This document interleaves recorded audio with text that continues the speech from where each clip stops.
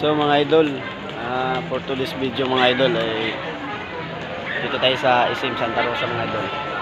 Meron akong papakita sa inyo mga idol, mga gwapo pa sa akin mga idol. Yan sila mga idol. Oh.